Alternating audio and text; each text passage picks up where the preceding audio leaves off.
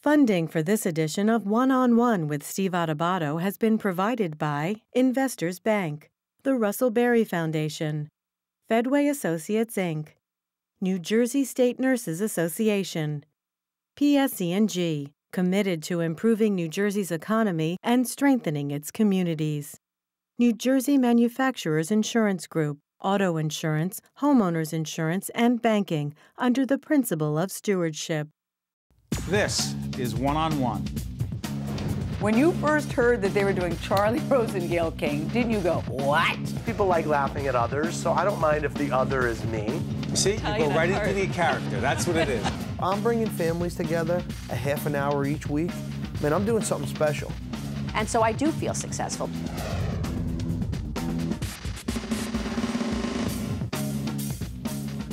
Hi, I'm Steve Adubato. It's my pleasure to introduce one of our distinguished academics here from NJIT, Dr. Treena Livingston Arinzeh, who is a professor of biomedical engineering at NJIT, and it's good to have you with us. Thank you. We were talking before uh, we actually officially got on the air. You were talking about biomedical engineering. First of all, what is the field in layperson's language? It's a highly interdisciplinary, interdisciplinary field where you combine medicine and engineering together. And so you're, you're trying to solve major medical problems or conditions using engineering techniques. Um, so these can be anything from developing new therapies using kind of cutting edge biomaterials. These are materials that are implanted in the body. These the latest, greatest medical devices, um, things that interface with the brain, mm. that interface with spinal cord. Um, could be new diagnostic tools, new imaging techniques um, that you see in the hospitals, like these MRI techniques, uh, CAT scans. So let's so do those, this. Assume things. you're not writing for a peer-reviewed journal for your colleagues, right? But we're communicating to the very intelligent audience on public television, but you want to do it in a way that they understand. Someone with a spinal cord injury, you and your colleagues are researching what? So we're trying to figure out ways how to rebuild or repair that spinal cord, that injured spinal cord.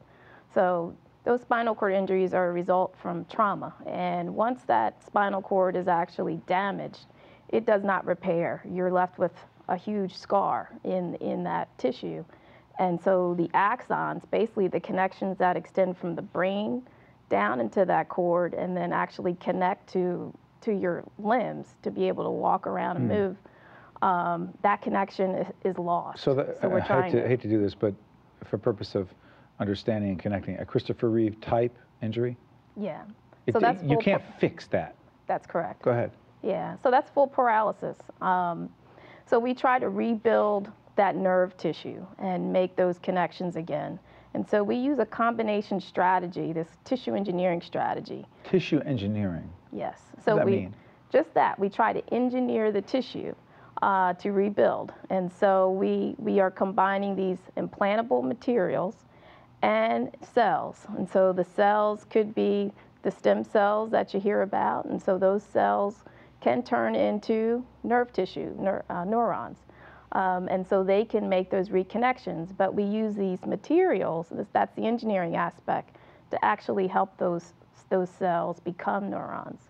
Um, so they provide the right cues to those cells to actually lay down the nerve tissue and it actually provides a, a nice surface, um, kind of a placement there, placement holder there to help rebuild the tissue and configure the tissue correctly in the in the cord. Doctor, so where important. are we now? I know from talking to some of your colleagues in higher ed in this particular arena, I've noticed that some of us in the media, and I'll include myself, we become very impatient. Hey, where are we now? You know, what's the outcome? When are we going to fix it? Yeah. Research is slow research takes time, and there's a level of understanding that still needs to happen from the basic biological side. You know, how do these injuries occur, and what's the impact on the tissue? Because especially the spinal cord, you have this huge scar that's left over, and it's really hard to remove that um, and make those new connections. And so, understanding some of that basic biology, mm. and then these new therapies can really work more effectively. If I were to say to you, how far away do you think we are from X, you won't do it, will you? I won't say that, yeah. We are, I mean, we're, we're you know, we're, we're definitely making progress. I think 10 years ago, we had very little understanding, some understanding, but certainly not the level of understanding that we have now of even how stem cells work. Right. Um, so that has progressed tremendously. Uh, and, um, and now we have these new types of stem cells that are being created. These what I call induced pluripotent stem cells. What? Well, yeah, induced? where people induce pluripotent stem cells or, or IPS cells. They didn't exist when? They did not exist five years ago. And what is the implication of the fact that they exist today? The implication is now that a patient, so any patients, you can take a person's skin cell and turn them into these IPS cells, um, these induced pluripotent stem cells. And what that means is a skin cell can now be a stem cell and has the potential to turn into, into any uh, cell type of the body. So it has this regenerative ability now, can be used to help rebuild tissues in the body. So we weren't aware of that five years ago. Question. You told me before we got on the air that you got into engineering because a mentor of yours, someone in, of, in your world said, hey, you grew up in Cherry Hill? Yes. Right outside of Philadelphia. Yes. Someone said, hey, you have a proclivity for this. You would be good at this. You should do this. Mm-hmm. Yeah, so I had that. Uh, I was fortunate to have a great uh, physics teacher in high school who said, you know what, you should consider majoring in engineering. And I looked into it, and in college, that's what I did. So, what do you do now for young men and women, particularly in urban areas, and particularly for women? Yeah. So, I'm involved in three mentoring programs. Um, one is through the American Chemical Society, it's called Project Seeds Program. So, we mentor junior and senior high school students, and these are usually underrepresented minority uh, students um, from underprivileged backgrounds, usually in the city of Newark and they come and they work through the summer and they are involved in all the research projects that we're doing in the lab. Hands on? Hands on, and they're giving great presentations. They eventually move on to publish the work, and they go on and major in, you know, biomedical engineering and other types of science or engineering, uh, you know, disciplines in college. Uh, we're also involved in uh, junior high school uh, women students. Uh, they come in and also I give them tours and, and for a couple of days in, in our lab and the department on campus so they get exposed to what biomedical engineering is all about. Um, so those are two major ones that, What's we, that like for you? we're dealing with. Um, it's a great experience, you know, just being able to give back to these students, show them that, look, there's a lot of interesting work that's being done um, that has real impact in the field, and you can apply everything that you're learning in school um, and and look, and there's people, you know, there's there's students that look like you that are in the labs, and you'll grow up, you know, and you can look like me when you uh, potentially look like me. That's someone who's actually doing this type of you love what like you do. work. So yeah, definitely love the work. Um, it's rewarding at the end of the day to know that you know the research certainly takes a while and it can be frustrating and not go in the direction that you want it to go. But no, at the end of the day, it, it does have impact. You are making some some strides there and learning what's you know going on. Keep us posted. Definitely will. Dr. Um, Treena Livingston Arinzeh. Thank you very much. Professor of Biomedical Engineering at NJIT. NJIT. We appreciate you being with us. Thank you. Thank you. Stay with us. We'll be right back right after this. Thank you very much. If you would like more information on this program or if you'd like to express an opinion, email us at info at caucusnj.org. Visit us online at oneonone.org or find us on Facebook at facebook.com slash Steve Adubato, PhD. Hi, I'm Steve Adubato on location for One on One. This is the 78th annual St. Patrick's Parade here in Newark, New Jersey. 78 years, going strong. It's a great parade. It's a proud group of people coming together. You don't have to be Irish to march in this parade, but for 78 years they've been coming here marching. You see another group, another contingent coming here, marching through. You're going to get a slice of life here in the city of Newark today. Our video crew has been here. We talked to everyone who is uh, coming to participate, whether they're marching bands, whether they're here to participate. You can hear it. I don't know if you're going to be able to hear me much longer. That's why we're going to go to the videotape. You're going to love this parade, and you're going to come want to come back here next year. Let's go to the videotape parade is about to kick off, and I figured what better time to uh, interrupt the Grand Marshal than right now. Patrick Dunican, everyone we've talked to right now is so proud, so happy to be here, and many of them are personal friends of yours, business associates. What are you feeling as the Grand Marshal right before we kick off? Steve, tremendous source of pride. A little cold too, by the way. Yeah, uh, tremendous. Feeling a little warmer just because the love here. Of course, of course, and everyone's Irish on St. Patrick's Day, and particularly today here in Newark. But I'm feeling extraordinarily proud. It's a great honor for me and my family and for my firm to be leading the line of march down uh, Mulberry Street here in Newark, outside the Prudential Center, past NJPAC to the Newark Museum. It's extraordinary. And what would you say to all the folks who are, in fact, marching here in the parade, in spite of the weather? We talk about that, but the fact is, people chose to be here today. Sure. I just want to thank them all for coming out. So this is a great city, and, and, and we're celebrating the life of St. Patrick through the prism of the host city, Newark, and bringing together really special people, like you said, business leaders, the community leaders, civic leaders. And you know, Steve, a lot of our friends in, in the businesses here in Newark stepped up, and we've raised over $100,000 for charity for the parade committee which they're going to dispense to 14 newark-based charities here and and it's just an extraordinary event and i'm so pleased and thankful and grateful to all of those businesses for supporting the parade this year. I'm here at St. Patrick's Cathedral with Mayor Cory Booker. Mayor, what are you most excited to see today at the parade? Well, I think it's just a reinvigoration of one of the great traditions in the state of New Jersey. Uh, there used to be tens of thousands, over 100,000 people used to come out for this parade as we celebrated uh, the tradition of the Irish people uh, and the Irish culture uh, here in the city of Newark. And to see it being revived, just as the city is being revived, uh, is extraordinarily exciting. And you know, the, the, history of the Irish community in Newark and New Jersey in a greater way is just uh, something that uh, I continue to be in awe of and continues to have impacts today. So, you know, this is the United States of America, and you know, we are our flag represents many colors, and even though you can't see it visibly, uh, our flag uh, definitely has uh, a, a, green flowing through it. So it's um, it's a tremendous day, and I'm just I'm just really blown away by the uh, by this parade and how uh, our Grand Marshal and others are really making it back uh, to its old glory. Two of our greatest citizens in the city of Newark, Mary Sue and John. Today is a special day for the Irish and those of us who, you know, want to be Irish. Are you? Wait, you're actually Irish? Sweeney is my maiden name. I thought you were Italian. Oh man, a little of that too.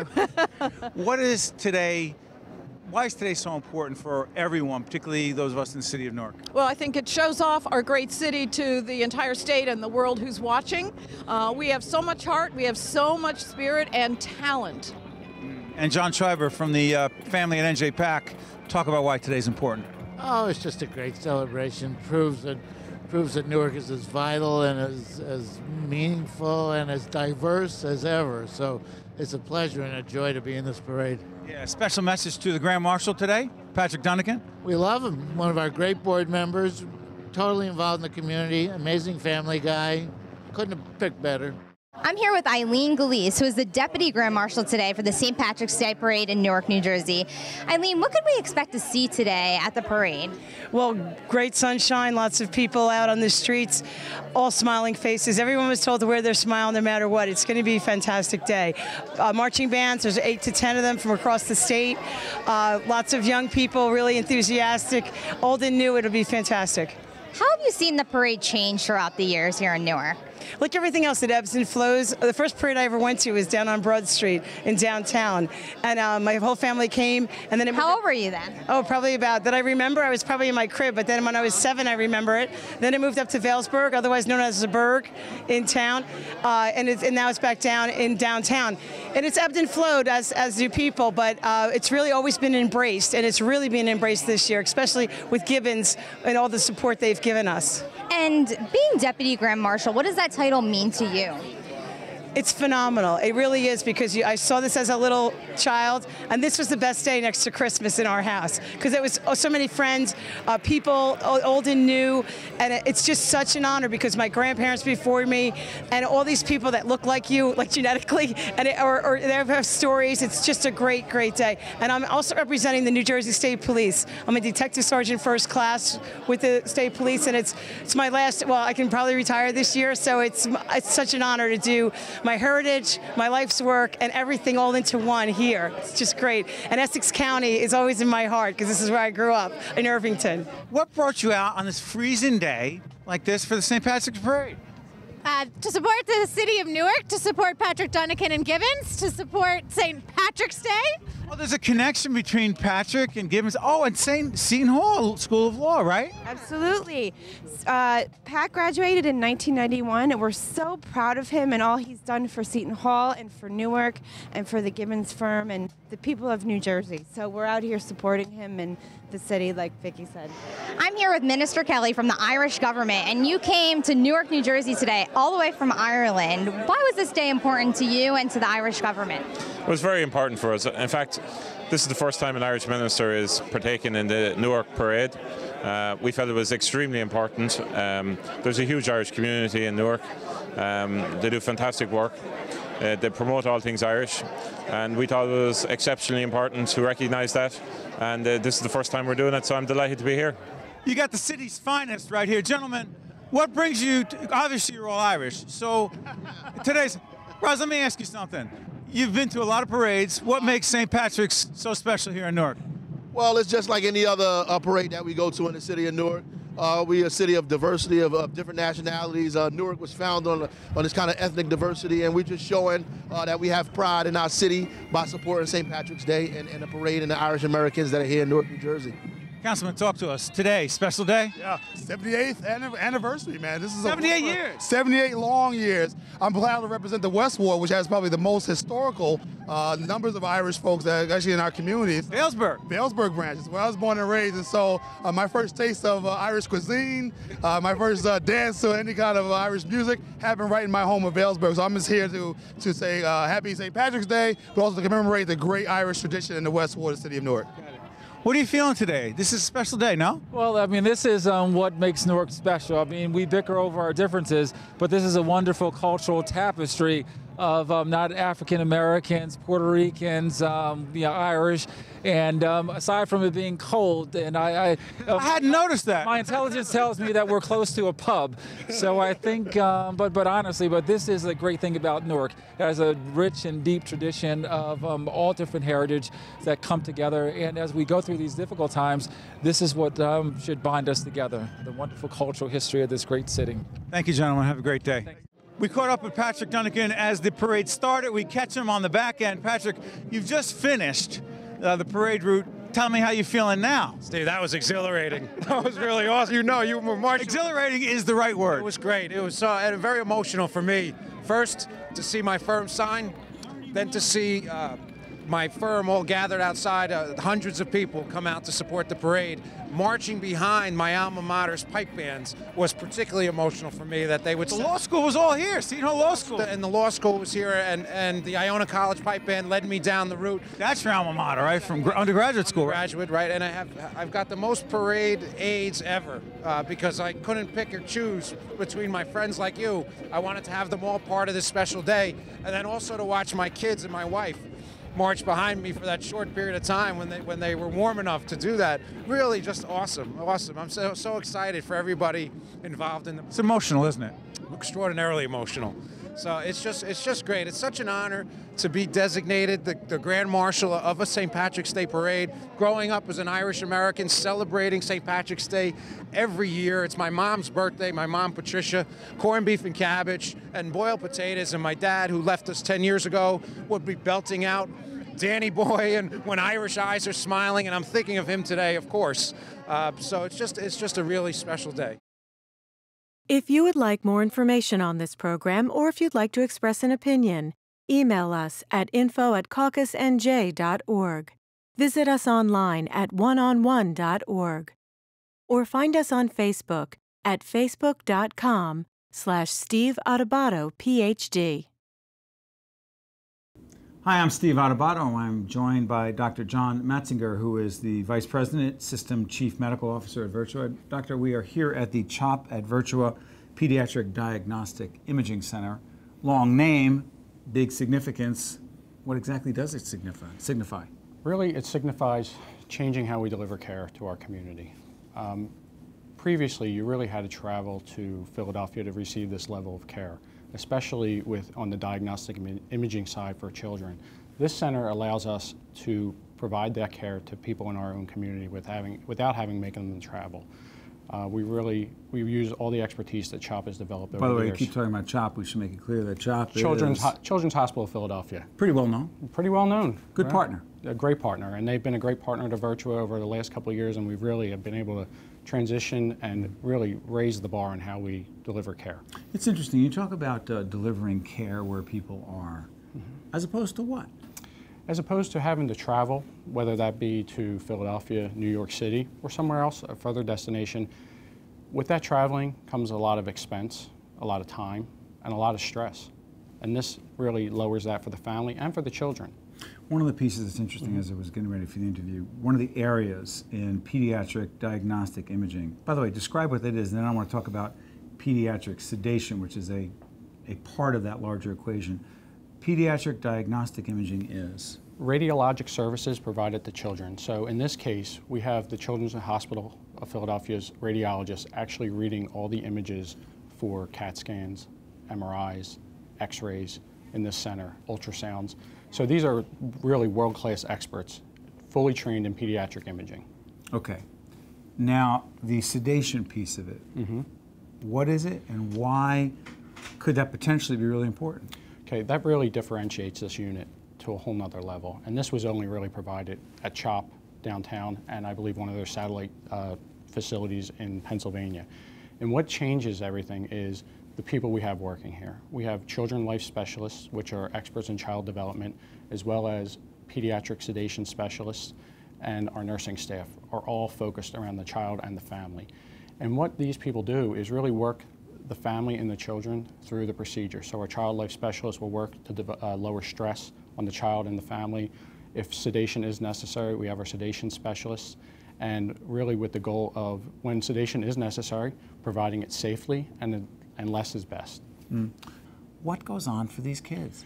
Well, what goes on for the kids is this is scary. I mean, this isn't the playground. Look at it, there's, there's a lot of lights, there's people moving around, there's alarms. It's really trying to get them comfortable and at the best you can, understanding the test they're going to get. Try to relieve the fear. But even, maybe even a little more scarier is for the parent. It's the unknown of what your child's going through. And that's really what differentiates, differentiates this unit, is the work of the entire family. I mean, I'm a father of two girls and I'd rather go for any procedure on myself Mm. than have them go through any procedure. So it's really trying to get that touch and that humanity around it and really. So hold on, it's not just the clinical side, is what you're No, not at all. It's really around the whole person. Talk to us about, um, it's interesting, as we were doing the research for the segment, you begin to realize that there, there are, this particular approach, this model for doing this, it's not all over the place, right? No. You're getting folks from, We're getting folks obviously from the southern New Jersey market, but we're starting to see people from central New Jersey, northern New Jersey come down. And because CHOP has been so successful in their own community in Pennsylvania, you know, there's obviously always a wait time. So we are starting to see some of those people who need the testing a little bit quicker. But we are starting to see a bigger pull and a bigger community drive to get the imaging done. when it comes to this whole question of, you know, this be well, get well, stay well that you, talk about a lot, mm-hmm. it's a slogan. What does it actually mean when it, particularly when you're dealing with kids? Well, you're right. It, it's a slogan. For us, it's not a slogan. It's our mission. And what, what our mission is to be well, keep the community whole, keep them moving forward, keep everybody on the right path to health. Get well. For you know, we are an, an aging community in general. We have we're a community with a lot of comorbidities, obesity, diabetes. It's really changing how people think, how people eat, how people exercise, how people act, changing how they live their life, and then stay well. Once you get them there, keep them there. Or if they're there, prevent them from going down the wrong path. And really, this entire building and our other health and wellness centers are built around health and wellness. As, a, as an organization, we've been hospital focused, mm. but we're transitioning away from that. We're more community focused, outpatient focused, and getting our community healthy. Yeah, it's so interesting. You say we're hospital focused, and then you say we want to move away from that, as if that's a bad thing. Well, I think the hospital is a good thing when you're sick and you have to be treated. But overall, we want to prevent you from ever being in the hospital. We'll never put ourselves out of business. Somebody's always going to need hospital care. But it's people, some people are in the hospital every single month for chronic conditions. That's, that's inappropriate. That's not good care. We need to do a better job on the outpatient side. But doctor, isn't it also fair to say that the government, that the laws, that healthcare reform, that January 2014, the mm-hmm. implementation mm-hmm. of what many call uh, Obamacare, uh, the Accountable Care Act, is saying that's what you have to do. They're absolutely. They're starting to put the focus on quality and prevention. Um, and not coming back to the and hospital. not coming back to the hospital. I have to be honest. We looked at this three, five years ago, and we really saw that that's where healthcare should be, and that's why we made a huge investment in primary care physicians, really bolstering that market. We saw in southern New Jersey primary care physicians exiting. They, the reimbursements were bad, the hours were long, and it just wasn't worth it to them. And we we knew that we had to focus there because without our primary care physicians, who, mm-hmm. who will take care of these patients? Looking at our nurse practitioners, our physician assistants, and really building a medical community. Well, it is a challenge mm-hmm. every day, and uh, everyone focus on, focuses on January in 2014 as if you know uh, a switch gets turned and all of a sudden, hey, that's when the national healthcare reform kicks in. But as you said, uh, clinicians and hospitals all across the state, all across this nation, are working on every day. So I want to thank you, Doctor, for sharing what's going on here. We thank appreciate you. it. Thanks for joining Welcome. us. Stay with us. We'll be right back after this. One on One with Steve Adubato has been a production of the Caucus Educational Corporation, celebrating 25 years of broadcast excellence. Funding for this edition of One on One with Steve Adubato has been provided by Investors Bank, the Russell Berrie Foundation, Fedway Associates Inc., New Jersey State Nurses Association, PSE&G, committed to improving New Jersey's economy and strengthening its communities. New Jersey Manufacturers Insurance Group, auto insurance, homeowners insurance, and banking under the principle of stewardship.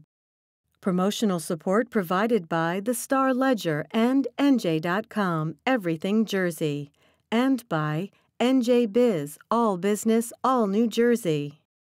Transportation provided by Airbrook Limousine, serving the metropolitan New York, New Jersey area. One on One with Steve Adubato has been produced in partnership with St. Joseph's Healthcare System. For 17 years, the Russell Berrie Foundation has recognized unsung heroes in New Jersey who have done extraordinary things for others. If you know a New Jersey resident whose selfless or heroic actions make them worthy of recognition, you can nominate them to receive the Russell Berrie Making a Difference Award. With annual cash prizes of up to $50,000, this award can make a significant difference for a very deserving person. Nominations are accepted online.